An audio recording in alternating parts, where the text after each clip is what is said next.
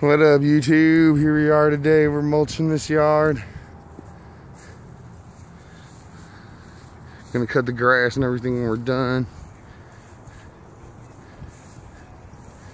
We haven't mulched down there yet. We're getting across this front here. So we'll show y'all when it's all done.